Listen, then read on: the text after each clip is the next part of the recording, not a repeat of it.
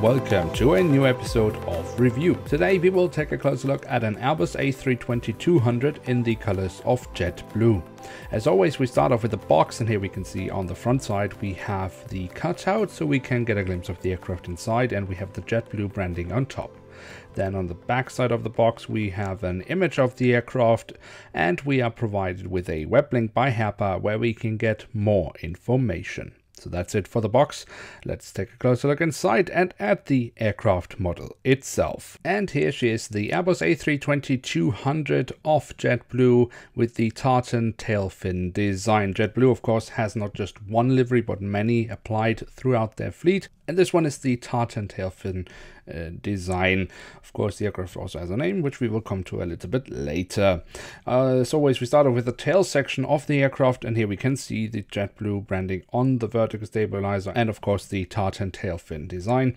On the fuselage, we then have the full registration code of the aircraft, the flag of the United States of America, and the aircraft type specification.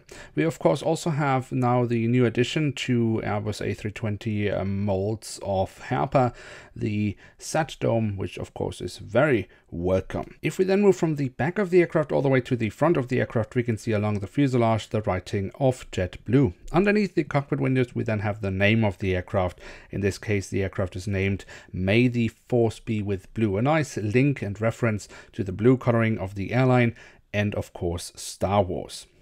Where I think the aircraft doesn't really match up to the otherwise really good standard is actually the cockpit area.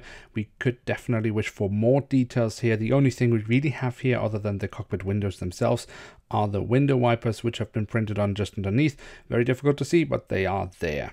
On the engine nacelles, we can then find the jetblue.com web address. A very nice little detail. Also, the blue coloring on the engine nacelles looks quite good.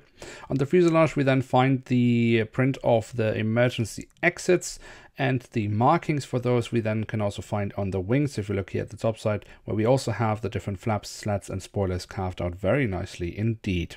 Also the underside is quite decent with a few details here and there. Also a very nice detail at the wings are actually the wing tips which look very nice with the dark blue coloring of the JetBlue livery. We have seen Herpa having some problems uh, with the shape of that in the past but by now they have actually figured it out rather nicely. And then last but not least we do also have the doors to the cargo compartments printed on here on the back side of the aircraft and here the front side of the aircraft.